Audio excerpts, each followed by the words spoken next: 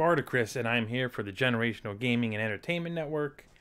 And welcome to the Theater Room. Uh, this is episode six. Uh, on this show, we generally focus on WandaVision because that's kind of like the big thing right now. But, uh, you know, I also try to watch a few other things too. I watched a surprise movie uh, the, over the weekend, and uh, I also watched my next James Bond movie, so I'm gonna kind of go through all that. My wife made one of the best sweets she's ever made th- this week, so I'll kind I'll go over that as well.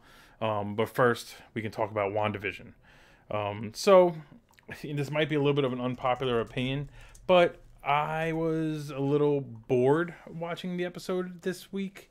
Um, I felt like after last week, we needed, since this is the second to last episode, we kind of needed something that was not necessarily action packed, but kind of carried more stakes. And I feel like it was pretty obvious. We've been talking about Agatha or Agnes being Agatha since the first episode, since before the show even started.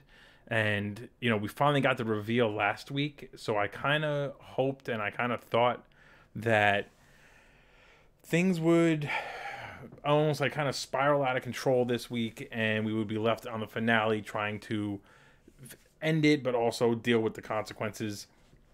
The show is not a long show. There's only you know half hour to forty minute episodes, so there's not a lot of time to do the conflict and the resolution in the same week. So in the same episode. So I was I'm a little I was a little disappointed. Um, I feel like we didn't get many answers. It was cool to see some of the commercials come into play um, this this week, and it was cool to see, you know, some of uh, uh, Wanda's origin kind of shown to us. I don't know how much uh, Feige or D- did Marvel planned on retconning the character into being a mutant or having powers from the beginning. They were pretty adamant that uh, the bomb just didn't go off. Um, it, you know, it makes sense. It doesn't seem like it's out of place. Um, what they showed us, her kind of stopping the bomb and then not realizing she did it. But I don't know. It just, just wasn't enough. I was hoping for more, and uh, I really feel like they kind of missed a boat in getting us more excited for the finale. Um, but you know, it's we, we still have time, I guess.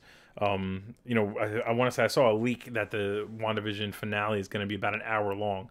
So you know, maybe they also whoever is creating the show or they makes the decisions agrees that half hour is not long enough to have a major battle, which you know they got to have at least one major battle uh, in a Marvel show, especially the first Marvel show, and um, also uh, leave us with a, a, a good resolution that will keep the door open for her future movies and future appearances, but won't leave us feeling like this was kind of a waste of eight episodes.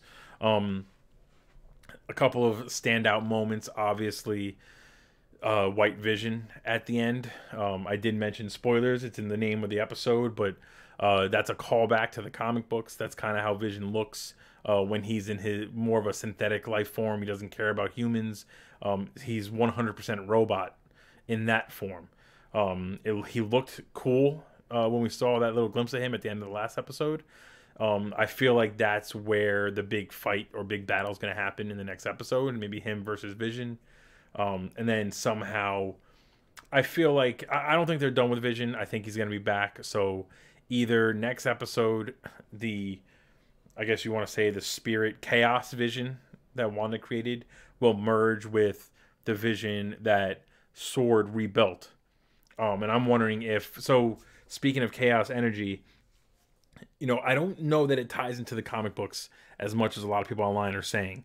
Um, I understand chaos magic is a thing, and you know, I feel like Doctor Strange, the first one, established that you're able to pull energy from different dimensions in order to uh, create your magic or your constructs or whatever it is in our dimension. Um, we know that the ancient one was pulling energy from the dark dimension, and that gave her the mark on her forehead. We know that Kaecilius and his people, Scott Adkins, were using energy from the dark dimension also, and that gave them the purple like burn marks around the eyes. Uh, Wanda has none of that stuff, so she's using the chaos chaos magic or creating the chaos magic or whatever they're going to explain in the, in the show. But I don't think it's going to so much tie into the way it does in the comic books. I have a feeling it's going to be, or my gut anyway, my theory is that it is going to be she's going to be harnessing the energy from another dimension, yes. Um, with that energy, she's going to fuse her version of, Vision with the uh, synthetic Vision, and that will allow him to survive outside of the hex. But I think that's also going to be essentially taking a piece of another dimension and now establishing a physical uh, being that inhabits that energy on our on our reality or our dimension, which is going to lead almost like cause a rift in dimensions because that's not how you know the world works essentially.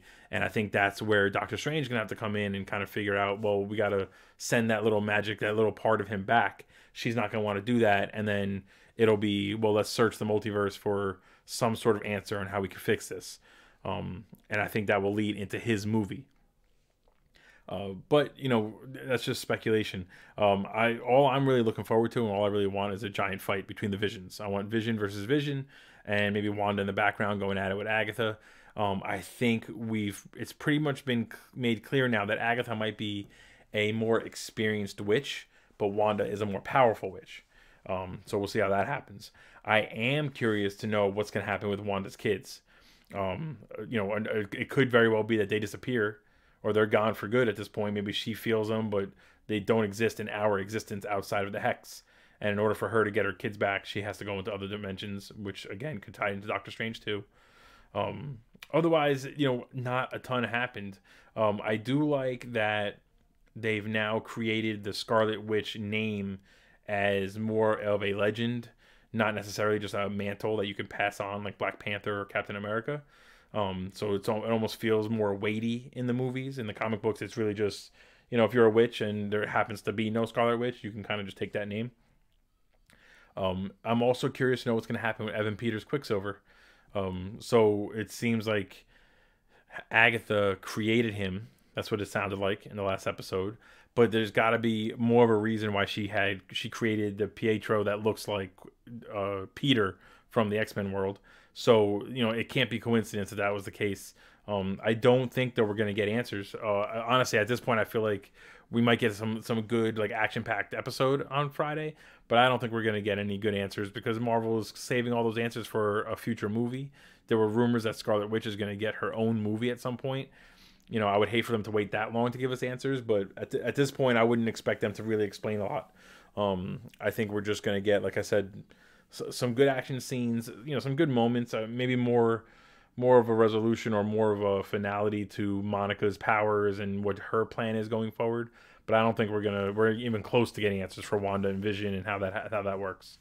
Um, I did read somewhere that maybe Agatha wanted to harness some of my, of Wanda's powers to bring back someone that she lost, and that's why she kind of stuck around in the hex and manipulated Wanda. Uh, I also read that it's possible that her little rabbit maybe holds the spirit of somebody. Maybe she was able to trap the spirit of somebody in there, but she never had the the experience or the you know the the knowledge to actually bring them back into a, a regular human form. Um, so that would be a good a good kind of tie in for Agatha to kind of keep her around. Um, but yeah, I mean the episode wasn't anything great. I mean, not a ton happened. We didn't get a lot of answers. Um, you know, it's interesting that we were told that Hydra and Strucker experimented on Wanda and her brother, and it just seems like those experiments were let's just put them in a room with the uh, the scepter and see what happens. I find it strange that the scepter gave or activated her telekinesis or telepathy, and it gave her brother super speed. So I think there might be more to it than that. Um, you know, maybe there's some things we're missing or things we're not seeing. Um, you know, again, I don't know if we're gonna find out this this week though. So you know, it's a little disappointing. Uh, to me, I feel like the first six episodes of the show were good. They were building and building and building, and I feel like these last two episodes kind of, you know, hit the brakes a little too much and brought the show to a little bit of a halt. So, uh, you know, I hate to sound like I'm, I'm trashing the show, but you know, Marvel's got uh, big shoes to fill, essentially their own shoes, but you know they've established themselves as a powerhouse and pretty consistent. So you know, you, once you start expecting the best, uh, you won't settle for anything less. But yeah, so those are my that's my opinion. I mean, let me know what you guys think. But uh, you know, if you have any theories uh, that you think are tangible, please let me know. Uh, I'm going to share the recap on YouTube. If you're not watching on Twitch, you can uh, comment on the YouTube video and we can chat. Um, all my social medias will show up at the end of the video. Um, you can kind of get me there too, and we can kind of get ready. Either way, uh, you know, I think we need to tune in for the finale. It's going to be an awesome episode. Uh, you know, the, the production value is high, the quality of the shows are high. We just need, I just want some answers, and I don't feel like we're going to get them because they're Marvel, like always, is playing the long game. Um, yeah, I mean, in, in Marvel news though, I will mention that I saw uh, this week or today actually um, it's been confirmed now that Matt Damon is coming back to for the next Thor movie to play his version of Loki in in the play that Loki was putting on in Thor Ragnarok, and it looks like Melissa McCarthy is going to be in it as the Hela for that play also. You know, I feel like that was should have been just kind of a one and done joke. I don't really think I need to bring it back, but I have all the the faith in the world that Taika Waititi knows what he's doing, so I'll just kind of go by his uh, uh, opinion, and I'm still gonna see the movie anyway. Um, so a couple of other things uh, about this week. Really, I watched the next movie in the Bond series, which was Thunderball. Last week, I mistakenly trashed the beginning of Goldfinger, confusing it with the beginning of Thunderball, because Thunderball is just that bad. It was kind of hard to get through. It was very slow. And while Thunderball uh, really leaned into the tropes that the Bond movies uh, tend to have, it was very, it was almost too campy, too quick. So the opening jetpack scene was garbage. Uh, I do agree that Melissa McCarthy, uh, Emily Gilmore, Thank you for commenting. I do agree that you know a lot of people are over her. I was talking to one of the guys in the network named Scythe, Scythex, and uh, he kind of agreed. She works a lot better when she's a secondary character with no filter and R rating, and she can just kind of riff with somebody. She'd probably be good in the Deadpool world, but you know, she, she's ever since she tried to go mainstream and, and cut back on the cursing and the vulgarity, she really hasn't hit the same strides. Uh, Bridesmaids, The Heat, and uh, this is 40 probably are her best moments on screen so. Um, but anyway back to thunderball. I think uh, uh, you know the opening scene with the jetpack was shot in a way where it felt like it was almost a made for tv movie and that's for back then. Um, the fact that bond was able to stop the two henchmen from getting to him in his car by shooting two fairly weak streams of water out of the back of the car and they couldn't just you know take a step or two to the side. They just kept running into the water. It was just it was bad. You know he was floating in the air and they're they're shooting at him from the hip again, which is the thing I hate the most. I, I just don't I don't understand. You know how long it's going to take for somebody in on production to say you know you got to aim down the sights. Um, you know so uh, you know all that being said, I got through it. It was hard to get through. Um, I think after someone like Goldfinger and Oddjob, they they couldn't match the the same kind of intensity or charisma of the villains, and it was just it was just wasn't that great. So needless to say, I'm glad I'm over, I'm through the first uh, Connery movies, uh, and I'll be moving on to the next movie for next week.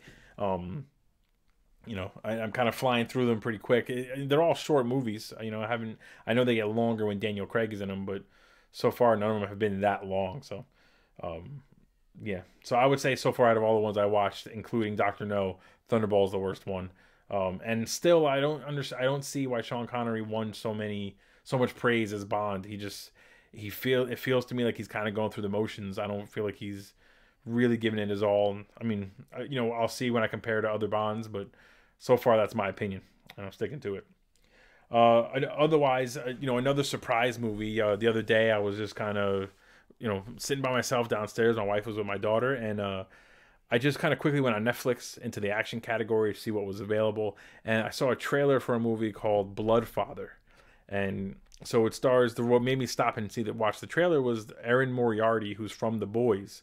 She plays Starlight. Was in the was in the trailer. So then I'm watching it and I see Mel Gibson, who you know we all know he's kind of a piece of shit, but uh, the, the he's the trailer still look good and he can still play an intense kind of uh, asshole. Um, William H Macy's in it. A few you know um, uh, Gabriel Luna, I think is his name from uh, Rogue One. He's in it also. And once I saw all those names, I said, you know what, let me just give it a shot. Again, it was a short movie, an hour and a half, hour and 40 minutes tops. Um, but it was a good action flick. It was intense. It was uh, uh, entertaining. You know, it kind of felt like it was uh, uh, made strictly for Netflix. I didn't really look it up afterwards, but If you're looking for some mindless action that doesn't doesn't have a very, a very deep story uh, and doesn't have a lot of twists and turns along the way, that's that's a good one. Bloodfather on Netflix. Uh, I don't know how long it's going to be there for. Um, if you can't stand Mel Gibson, then it's easy to skip it. But if you know you can stomach him for a little bit, then give it a shot. Um, I don't think you'll be disappointed. Um, and then last uh, short episode this week because uh, not too much happened. Last on the list is my wife went out of her way to make a peanut butter pie with an Oreo crust. I tried to get the picture to show up. It just wouldn't show up, so I'm gonna have to put it on the recap. But damn, it wasn't too peanut buttery. It was almost like a peanut butter cheesecake kinda, but it's not cheesecake. I don't know how else to describe it. It was delicious. Uh, she is outdoing herself week after week, and I'm telling, I keep telling her to slow down so she doesn't uh, burn herself out, because um, I want these to keep coming. Um, but she makes it, and I get to enjoy eating it, so I can't complain too much. Um, otherwise, you know, that's that's really it for this week. Uh, uh, not a lot of announcements over the weekend. I thought FanFest was going to bring a lot of new trailers and stuff. Um, there's a few, you know, new games coming out, um, but nothing really huge. I did read that in the Mortal Kombat reboot, apparently Kabal is in it, and he's in the trailer. Uh, you know, while I like the character, that already kind of scares me. There's too many characters in the movie. Uh, I was saying that before with Mileena. Now Kabal, I, that just doesn't make sense. Um, you know, so I don't know. I, am I go back and forth. I'm still excited for the movie. The trailer just won me over, but it's just one. It's just one character too many. I'm hearing rumors that Shao Kahn's gonna make an appearance. That's another just one one uh, character too many. They're trying to put too much in one movie, and they need to take their time. If anything, if anyone's learned anything from Marvel, it's take your freaking time, slow down, one character at a time. You don't need to go nuts. Um, otherwise, that's it for today. It's a, a nice short episode, nice quick episode. Uh, this is what you get when nothing really happens on WandaVision. Um, I'll be back on Sunday to talk about any of the new updates throughout the week. Uh, I might even talk about WandaVision since the finale. Um, coming to, to, coming to America 2 is coming out soon. I will absolutely talk about that. Um, after WandaVision, we go right into Falcon and the Winter Soldier. I know uh, uh, Elizabeth Olsen went from filming WandaVision straight into filming Doctor Strange 2. I do think we're going to get a trailer of some sort uh, at the end of next episode. We're going to get something for a future show, maybe Loki, maybe Black Widow, although we've seen plenty of trailers for that. Um, you know, this right now, as of right now, Black Widow's still coming out in theaters, so I don't know if anyone feels comfortable going to see it. I, right now, I feel like I'm I don't I'm okay with seeing it, but I don't want to see it by myself, so I might have to uh, just wait for it to come out on uh, demand somewhere on Disney Plus. Um, yeah, that's it. Make sure you check out any of the other guys in the Generational Gaming and Entertainment Network, Scythe X, One Shot, and the Captain streaming randomly. I think Scythe X is on right now on his Twitch, streaming Miles Morales for PS5, um, which is a fantastic game. I platinumed it. It's worth it. If you're interested in the game but don't feel like buying it or don't have time to play it, go watch it. Um, Resident Evil 8 is coming out soon, so uh, I'm actually itching to do some Resident Evil games. Maybe I'll replay Resident Evil 7 to prepare. Um, you know, I'll be sharing, I'll be streaming that on on our channel as well. Uh, if you like this kind of content, like and subscribe. Give me some, hit me up in the chat. Let me know what you want to talk about. Let me know any ideas for future episodes. And uh, any otherwise, I will see you guys on Sunday. Happy gaming. Enjoy the movies. Enjoy the cinema. Enjoy the TV. Uh, I will see you next week.